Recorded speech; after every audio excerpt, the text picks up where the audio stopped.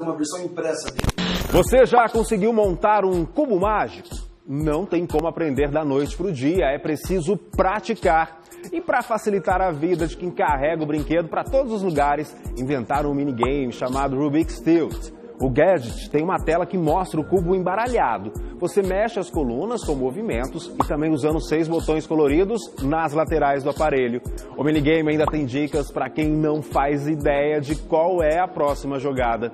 Pela internet, o jogo está sendo vendido só na Amazon dos Estados Unidos por menos de 17 dólares, cerca de 85 reais, arredondando o dólar para 5 reais.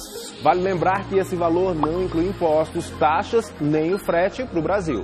Now it's controlled by motion. You've got to see this. Twist, turn, tilt to control the rows and the sides. With lots of features. Choose your level. Choose hints that help you solve the puzzle. Choose timer for speed cubing.